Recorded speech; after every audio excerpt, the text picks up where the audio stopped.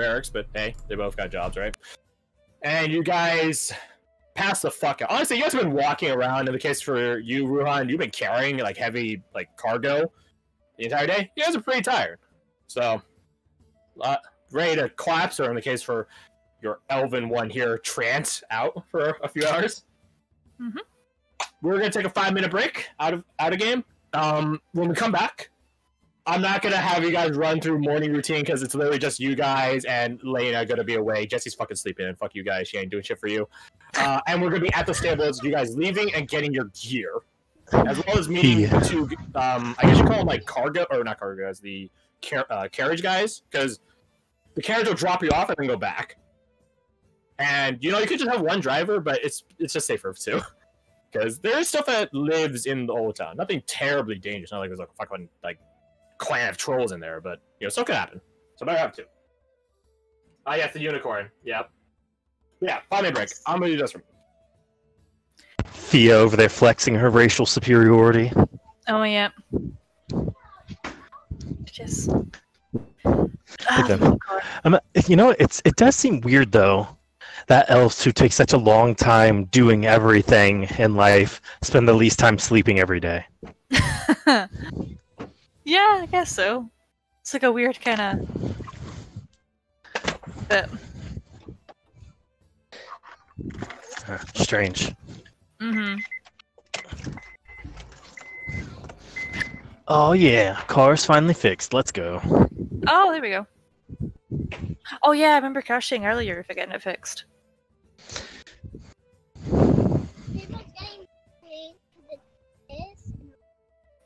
I don't care. Pick everything up. Go. I didn't ask who's what was what. I said get it clean.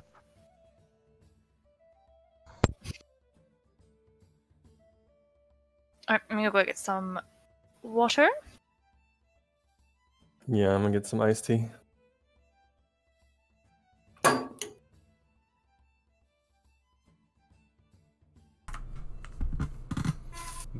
Behold the unicorn.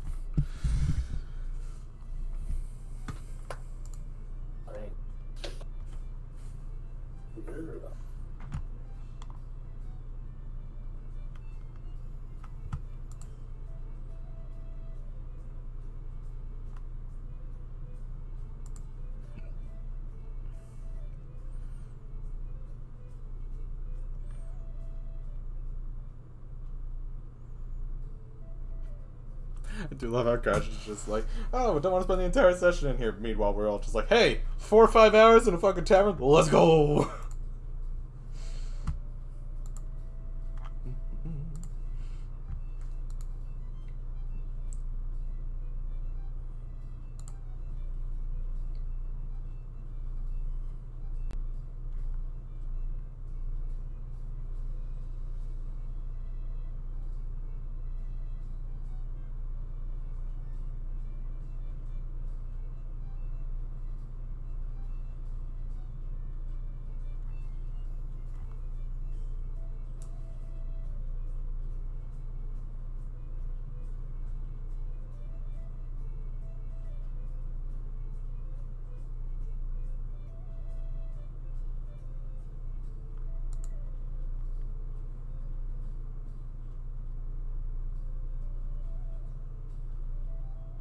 you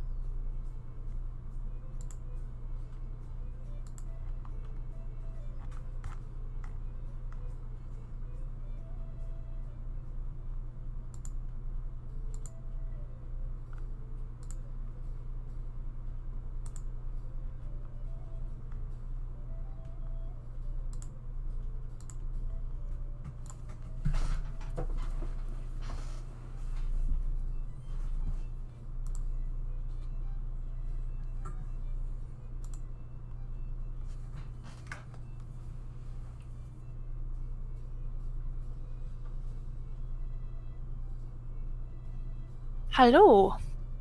Hello.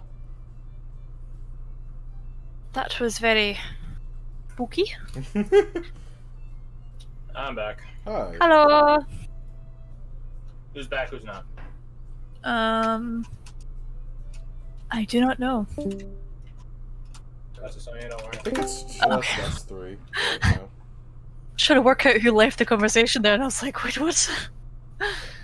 Ah, you're good. You're good. But alas, it was a Sonya. Just change the music. Uh, let's see this one. I have returned.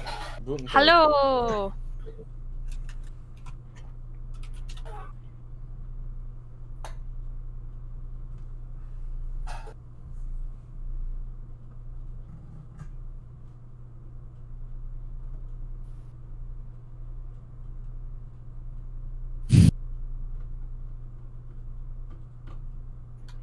You know, I can always use an excuse to play Auriel's Ascension from Oblivion any fucking time. So Oh, I'll play it yeah. Oh yeah, there we go. That's It's a classic. It's a classic, and it has a nice tranquil calm, which is associated to me at least with early mornings. That or miserable suffering because I have once again stayed up all night until dawn, and I feel really bad about it. Which is basically me every day these days. mhm. I'm like, No. shit, dawn. I, I used to do that when I was your age. Okay. Back in my day, Yeah, I did yeah. sleep. when I was got- your age, you gotta, you gotta bring that. Mhm. yeah. Yeah. Like, oh, I used to do that. You gotta say when I was your age. Man, that, dude, that's like 10 years ago. I, I just don't have the body for it anymore. hmm No, I'm ready for. I'm waiting for the time where my body will finally collapse and be like, nope, no more of that. Give that a pass. Uh, got at least a couple more years, probably. Oh yeah. Now Yeah, 2020 about keeps going the time way was- it is. Around the time I was 24, 25, 26, that, that range is when I stopped partying altogether because I just, my body was like, nope, no more of that. Mm-hmm. So yeah, at most I got a after couple that years. was like I got, got like a beer for dinner or a couple beers relaxing in the evening. That's that's that's great. But going to a pub or a club, nah, miss me with that shit. Oh god, yeah. It's like I'm just completely over clubs now as well. I can still It's do good pubs, thing. Perfect but timing. My friend and I, we had this moment of realization dawn upon us, and we're like, why would we go there? We can't hear shit what anyone's saying. yeah, yeah, yeah. Oh, I'm like that now. Really? Really, yeah. it's like, hmm yeah. I can go. Hey, sleepy boy. But if you're into the whole meat market thing, by by all means, have at it. No, I'm good. Yeah, no, That I'm, sounds I'm cre- sort of serial killer-esque when you say it like that. Mhm. Oh, you know, youngsters these days, they have apps and whatnot for that sort of thing. Tango started attacking me as you said that, so I think he heard it and did not approve. yes, good, good. Come here, buddy. How you doing? There's someone trying to talk. Someone on Kirsty's end. Hmm? I heard someone background for you. Oh. That's really weird because I'm on my own. That's probably me then. That's kind of terrifying, actually. Mm. Unless you're watching like a video or something, I don't know. Maybe. Behind you. Yeah, that's kind of got me on edge now. If you hear me screaming, you know I'm dead. Oh, it's like the movie Hush, starring Kate Siegel.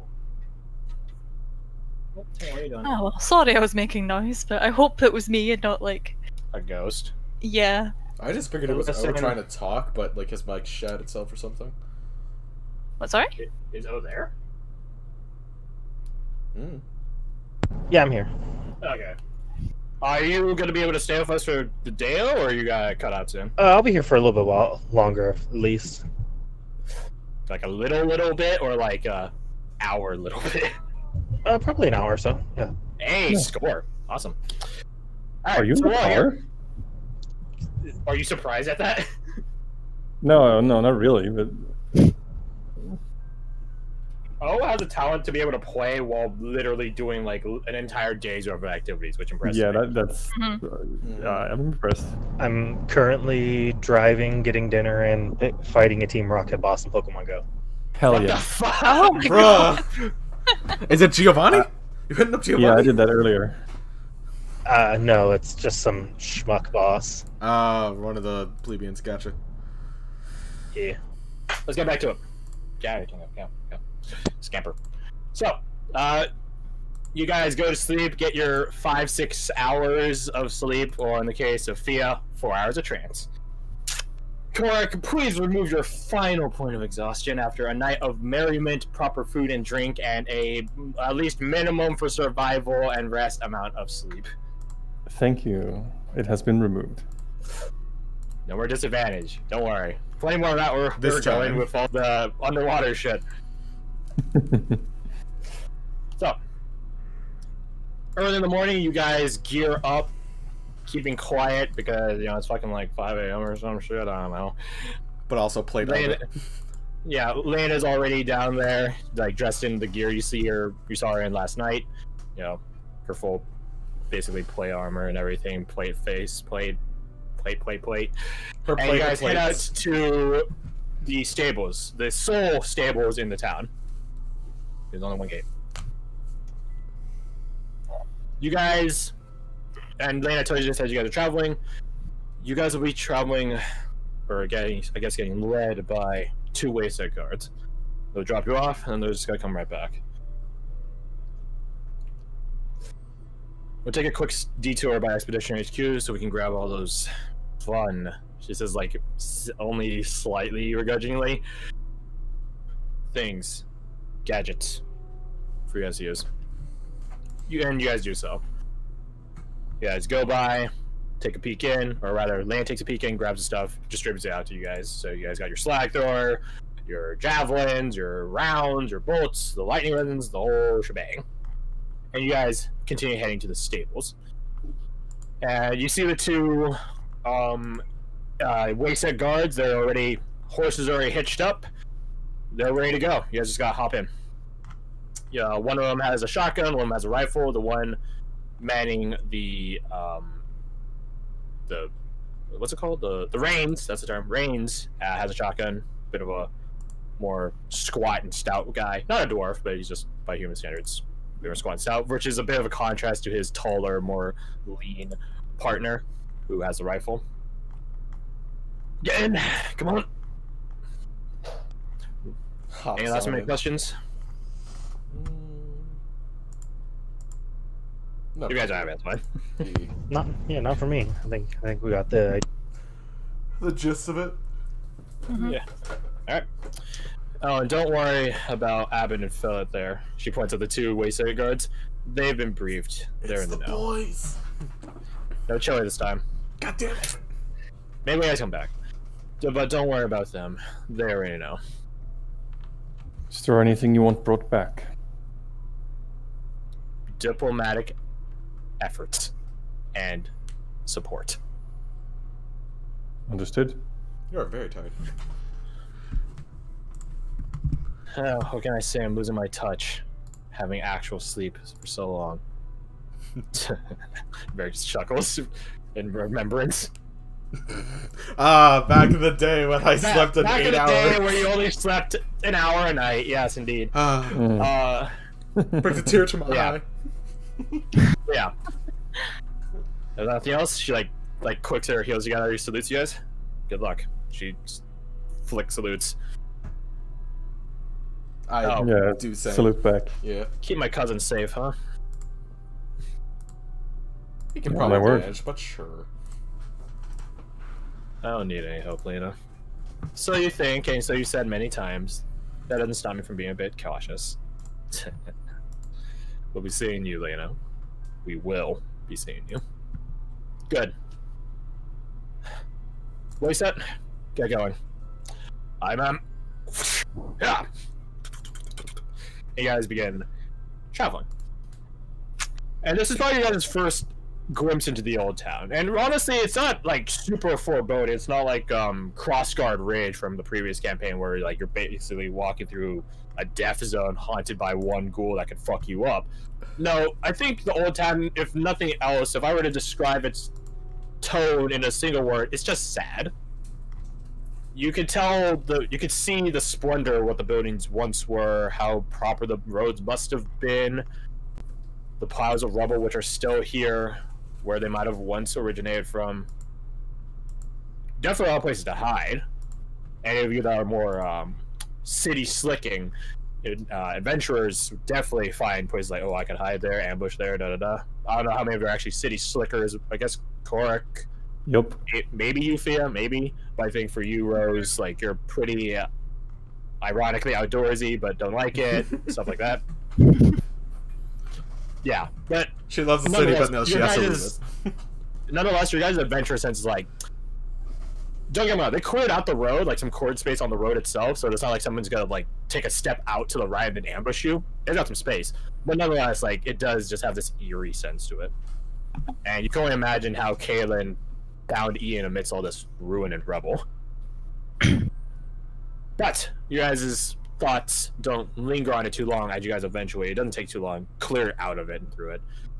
Abin and Philip are talking to you. Well, Philip more so. Abin like is keeping like a really focused eye on the road as well as around you.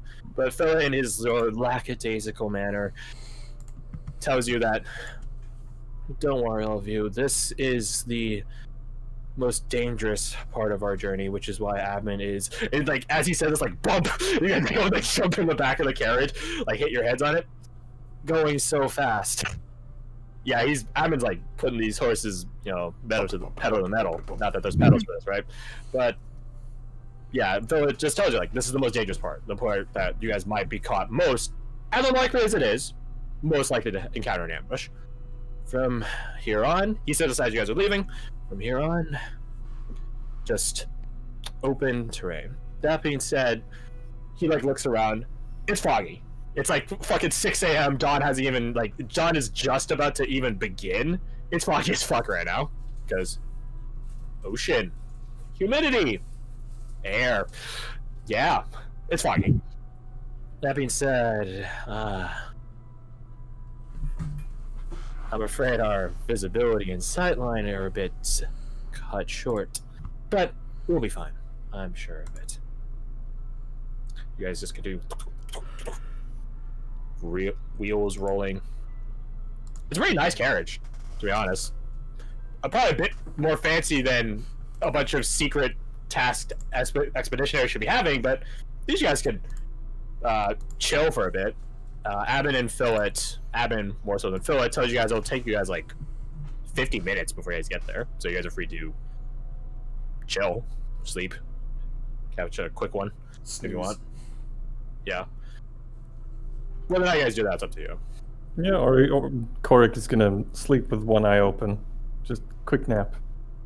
Yeah, you guys have walls that separate you from like it's not an open top wagon, it's like an actual carriage. So you guys have walls, doors, and stuff like that that separate you from the outside cold, quite cold uh, environment outside.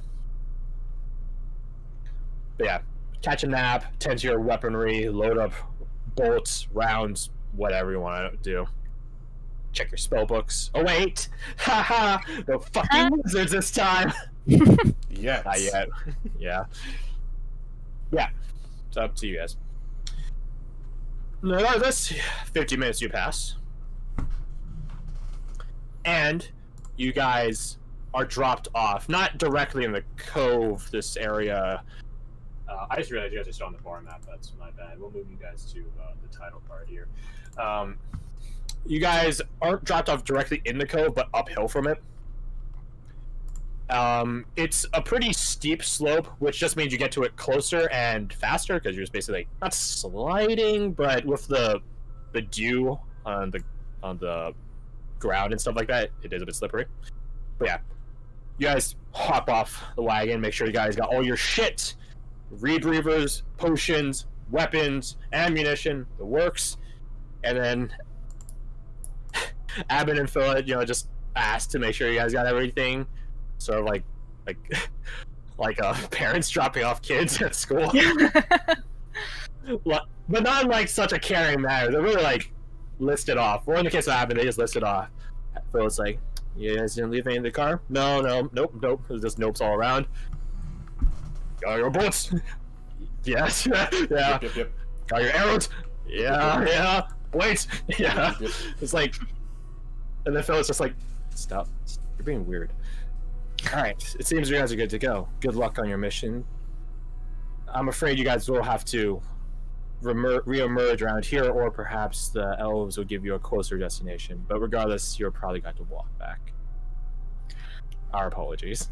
oh, fun. Yeah, we can't ask you to wait here for like however long it takes us to do shit. Indeed not, but hopefully not too long. Mhm. Good luck. Good luck. Thanks. Yeah. They were nice. They were. They were very peculiar. They still are. Yeah. I got a very mummish vibe off of one of them. Oh, oh no! Are you sure you shouldn't have gone You to might the brothel before we left, or I'm sorry, what? nothing? Let's just keep going. Keep your thoughts on the mission. Come on. Barbarian's like descending down. Uh, but wouldn't this be fun? First mission together, guys. Technically, yes, it is the first mission. Yeah. Yeah. I Techni- don't think technically, it's the second. First planned. Yeah. planned. the first one was sort of a surprise. Yeah. Varric is just loading, like just double checking the rifle. Just Yeah, while, while talking, I'm getting the rebreather thing set up. Oh yeah, yeah. As you guys get further and further down the cove, the fog is heavier and heavier because cold air go down, gun goes burr, sort of stuff. Uh, yeah, you guys descend deeper and deeper into the fog, and don't get me wrong, this isn't like Silent Hill fog. Yeah, you guys can still see relatively fairly. I'd say the area is lightly obscured, not heavily obscured. uh, stuff like that. Yes, indeed. So you guys descend into the cove. You guys begin stepping into the sands of it. Just your guys' prints obvious, but you know there's only so much you can do on literal fucking sand, and you're confident that the tide will eventually rise and clear away. Hopefully. So we're just supposed to wait here, basically. For what exactly? For them to show up. Before that they sounds show like up, an ambush. Yeah. before they do show up, is there any? does anyone have things that can't get wet, waterlogged, damaged, papers? Oh shit! I just realized. Um, the balsa wood. Um, what about that? You guys want to do something with that, or at least O did. I'm not sure if all of you did, but O did. Uh, yeah, it might be a little bit late now. Um, depending on what you do with it, like I might let you do it, but I just want to know what you're attempting to do with it. Just uh, uh, taking some and epoxying it to the armor, so it's more buoyant and not like wearing 80 pounds of metal underwater. okay, I don't think that would take too long, especially if you had st- like people to help magically. Uh, uh, it's not Accelerate the epoxy. oh Yeah, yeah, like- shoot, you're right. Prestidigitation immediately dry stuff. Hey, hey. Yeah. Oh yeah, okay, that makes epoxying way easier. Yeah, so Damn, I who thought has five minutes. prestidigitation? Yo. Um, I do. I think We all do. we're covered. well, here's the One thing. of us has it, we all have it. Yeah, and one of us only has to sleep four hours, so you wake up and you do the dirty work. Damn it. Uh, yeah, he would just be he would just be cutting it properly and putting it on in like strategic places, like some on the breastplate, yeah, some on the pauldron, some on the rear of the breastplate, Shin uh, guards, some maybe. on yeah shin guards, uh, just in appropriate areas for both himself and Rose. And is Varric, is Varric's Varric and Abigail on either of them? Okay, he might want some too then. That's fair. Um. Mm, I'm trying to see how to. Because I don't think it's not like it gives you a swimming speed. That's like impossible. But Ah, I'm trying to like maybe probably just lessen the weight of it. Yeah, Uh, exactly. Yeah.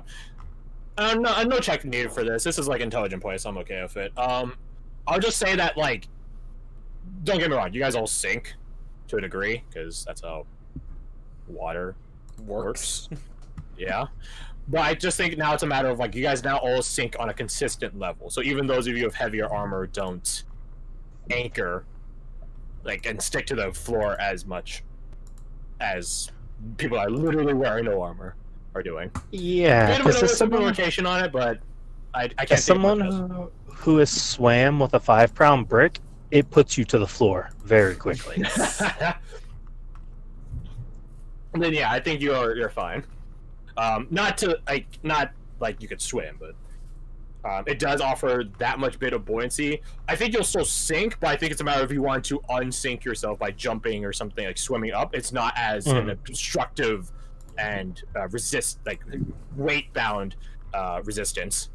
So Yeah, guys won't be, like, the- literally dying. the goal being it's less exhaustive, and if Yes. something was like pulling me down, it doesn't have an easier job. Yeah, I think that's fair. So if you guys get Cthulhu from like a pit somewhere, uh, Cthulhu can equally target all of you. Thumbs up. We're all fucked. Anyways. Yeah, maybe if you guys are fighting Cthulhu. Yeah. Oh, so right, you guys before have we your jump into also the water. and stuff. I don't think we're jumping in. We're supposed to wait here. Yes, but uh, come on, bedrolls, what stuff. We, I know you've got shit that will suck to get dry. So That's good- I have a deck of Hand it over. cards. Just throw all the unnecessary shit in the bag. Basically. Just Yep. you can leave it on your sheet. Um, I think it'd be a bit too much to add like 20 different things to the bag of holding. But I'll just assume that we'll follow passive logic of can this get wet? Would get destroyed or ruined if it gets wet? It was probably in the bag of holding. great. That's all I wanted. Roger. Lovely. Thank you much, Le. I don't fancy drying my bedroll. No, that would suck. Then it'll get that nasty, like, damp smell too, and no. Sorry, mate. No amount of prestidigitation is going to clean that up. Nope, nope. It's there forever. I just realized Yes. if we stay there for a day, more than a day, Uh-huh. where do we sleep? If we're underwater. That's a question yeah. for about Do we just? We'll 14 hours from now. Do you think we'll just like float about, like, that would be funny. or just have to like Oh. tie ourselves down to the floor or something like bats? Well, you wouldn't want to tie yourself to the floor because then the bottom dwellers would have you as an easier snack. Hmm, Good point. Good point. Yeah. That's Would you want to float up to the roof then? Maybe. To Korak and Fia with passive perceptions 15. Yes, I remember what your scores were. Not gonna happen ever again. Haha. Bravo. IGN 10 out of 10. um, you guys notice that the fog around you is getting thicker. Not in like a naturalistic sense, because dawn is approaching. Fog should be going away. No, it's getting thicker. It's like rolling in. Oh, fun. In a way, it gives you like a Hold curve of, of privacy and obscurement.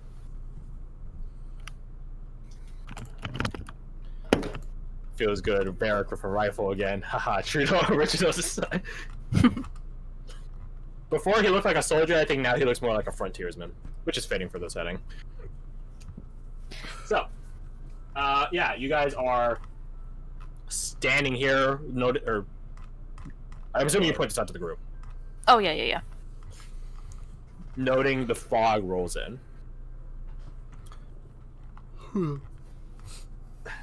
Let me change the music. Props Oh, up. Crossbow prepares to shoot some shit now.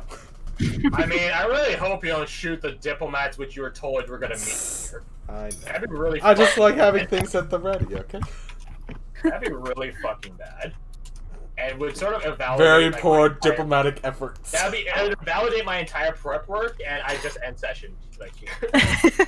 Now part of me wants to, but part of me knows I won't. Oh, this is super quiet from the beginning. Fuck. Uh, I'd say turn up the music for a little bit, but just be ready to change that. Actually, just leave it. It's gonna cycle for a good bit, so just leave it. yeah, I can kind of hear it. So It has like high pitched things which are easy to hear. That's why.